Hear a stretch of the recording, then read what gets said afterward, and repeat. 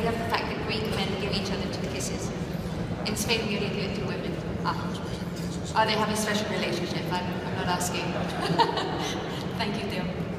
Okay, our second.